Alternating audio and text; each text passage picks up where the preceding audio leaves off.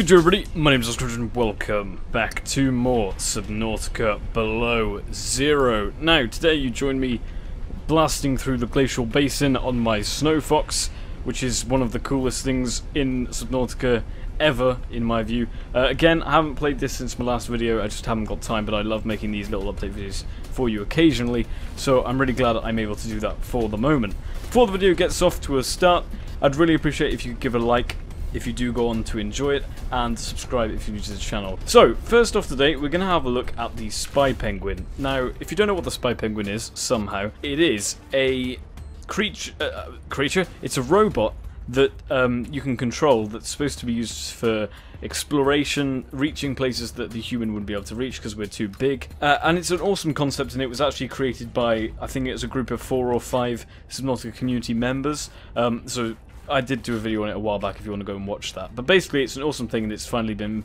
implemented. So, what it is, is you can now just type spawn spy penguin, and you can also make them in the fabricator, I think.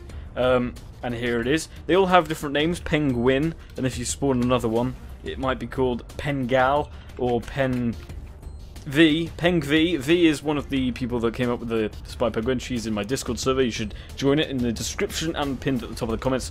That's the plug over. I think it requires a Spy Penguin remote. Yeah, for you to be able to control it. So, if I right click on this, I can control, I don't know which one I'm in, Penguin I'm in. Um, the controls are odd I think I read on the wiki that the maximum distance is 50 meters. Um, and at the moment...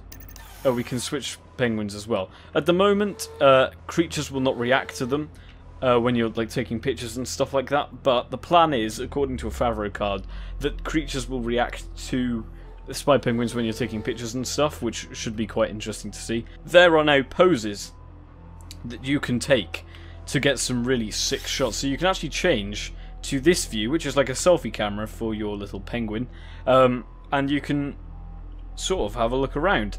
And there's Robin there, you can see her in all her glory, uh, with and it gives like a weird filter sort of thing on it. Um, I don't know what this is, it's a little bit weird, I haven't played around with this yet. There's another filter. Um, so it seems every time you look away from her, she changes stance. Oh, whoopsie daisy, didn't mean to do that. Um, a nice little crouch. Or squat, I don't know how you pronounce That's a thumbs up, I think. Well, there's loads of poses.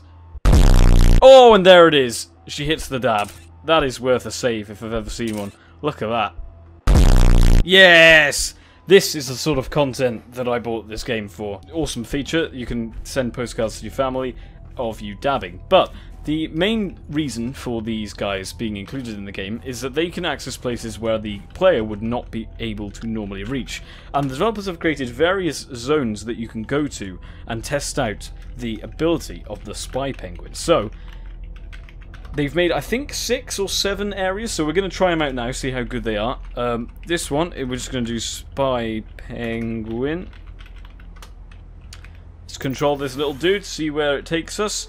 So I think the range was 50 meters, so this should be easy enough. So this is just a little obstacle course, obstacle course going over a thin pipe thing.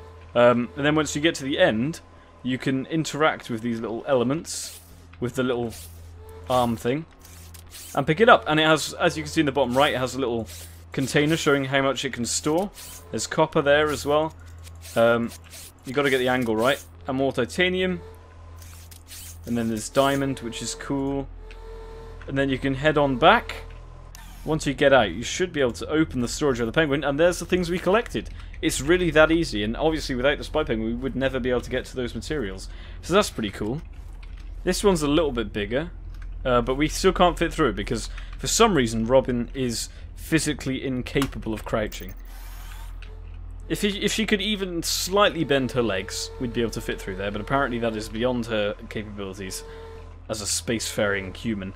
Uh, so that's a thing. That's Pengo, Peng Dinofuzz. Dinofuzz is also in my Discord, if you want to go and chat to him about his ingenious creation. So this one, I think, isn't just a small hole to go through. This is actually a, a ledge that you wouldn't be able to get on as Robin, and gives you a nice view of everything. But I'm assuming it also takes you to a... Yeah, there you go, some good outcrops where you can get some valuable materials if you're running low. So yeah, that's basically it for the spy penguin, I think. Um, it's a really cool feature. Very, very much looking forward to seeing how it's implemented effectively into the game, but I can see that it's going to be super useful for collecting that sort of resource. So, last video I covered the Vent Garden, which is my 100% fa most favourite creature in Below Zero, potentially my favourite creature in all of Subnautica ever. But I failed to realise that there is actually two vent gardens in this game. There's this one, and there's also one a little bit further around the corner. So, they fixed the lighting bug, at least one of the lighting bugs. This now shines like a neutron star. Um, I don't do physics, that was probably a bad comparison. Uh, but you now can't clip through this, which is good, and it actually makes a thumping sound when you bump into it, which is cool and it's also animated at the bottom so that when you get close to it or even just I think it does it on automated basis occasionally you can now swim up into the center which is exactly how it would get its food and what you might not be able to tell is that actually when you wait below it and then it opens up there is actually a sucking current like a tractor beam. See, I've got my keys off the keyboard and we're drifting upwards. Awesome feature. Really, really cool. Um, but that is also not the only one. There is actually another one just around the corner. I've not seen those plants before, but they are really cool. And here's the other one. This is another vent garden, same variety, doesn't look any different, I don't think, from the outside. Oh, I've just realised the top is actually animated. I didn't notice that because it's so painful to look at. So the top is animated as well. I think they need to fix the lighting on that a little bit, but that does expel some of the, I, guess, waste. Um, this one's interesting though because it actually has a vent beneath it, uh, which makes sense. So that's how it sort of gates. Gates? That's sort of how it gets its nutrients and stuff from that thermal vent, which is an awesome, awesome, awesome thing. Now, another thing that's coming up with the vent garden is that there are going to be two variants of vent gardens. There's going to be these big ones that don't move. They have their animations, you can go inside them and stuff but they never move. They always stay above these certain vent gardens, uh, above these certain spires. And then there are going to be other vent gardens which are slightly smaller, and I'll show you a screenshot now from one of the developers, which shows the sort of size they would be. These ones are going to be free moving. I'm not sure entirely how they're going to work, if they're going to be able to lock onto spires, or if they're just going to infinitely float around the big boys. I don't know how that's going to work, but it should be awesome to have the little ones floating around. I say little, they're still humongous, uh, but still not quite as big as these massive ones here. Another bit of news which is probably completely irrelevant to any of you, you probably don't find this even remotely interesting, but there's a new plant called the Tornado plant, or Tornado something, which I just thought is a really cool looking flora, uh, and I don't think we give the flora enough credit sometimes. Um, so there it is, awesome looking plant, um, lovely design, very vent garden-esque. So these guys now are officially terrifying. I think the thing that makes them so scary is these little tendrils on their legs, they really freak me out. Uh, I don't know where this goes. I'm sort of intrigued to see where... Oh, okay. It's a little cave. It goes underneath the vent garden. Anything interesting down here? Bearing in mind I haven't played Subnautica properly yet, um, since most of the major updates, so there could be absolutely anything down here. I have no clue what this is. Seems like a big endless cave. But the vent garden's a pretty significant landmark, so you'd expect the cave underneath it to go somewhere. It does actually look like it's leading somewhere quite big. And there's... Is that a sea truck? There's a sea truck there. I haven't built a sea truck in the game. I've never been down here, so I don't... Why is there a sea truck down here?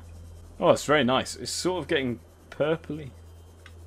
Is that a spinefish? Is this... Yeah, it is. Wow, it's getting really purple think I need the HUD so I can actually see where we're going. Wow, this place goes really deep. Wow. Oh! Oh, okay. It's a Chelicerate. I did not know these guys were here. I knew they were spawning naturally, but I didn't know that this was where they spawned. Uh, is this the crystal... Yeah, it is the crystal cave. That's why it's purple down here. These guys are absolutely terrifying, and their eyes Their eyes pierce the darkness because they're really bright white, which is awesome to see. But I'm very confused as to why there's a sea truck down here. That beats me. Um, but that just seems to have a broken back. Something's hanging off. I don't know if that's meant to be like that. I don't remember seeing a Chelicerate with that before. Okay. Um, but yeah, I don't know why there's a sea truck down here, but apparently that is just a thing. So those guys are going to be annoying. But yeah, either way, that is pretty much it. I don't have anything else to talk about today. I'm really sorry that I haven't been keeping up to date, but I am going to try to. My exams finish on the 17th of June, so after that you should be able to expect frequent updates and other things as well as just below zero, which is what I'm going to try and do, but I mean, I've said that before and it hasn't happened, so we'll just see. Holy crap on a cracker, this is massive. What the heck is this? Wow, this is like Sea Emperor Prison sort of size. Interesting. Wonder if anyone can tell me what this is or what it will be or anything like that. But yeah, I haven't got anything else to talk about today, so that is pretty much it. But I'm going to leave it here. Please, if you did enjoy the video, give it a like. It means a lot to me. And if you're new to the channel, subscribe. Join the Discord, link in the description and pinned at the top of the comments. And until next one, I'll see you guys in the next one. Try, my friends.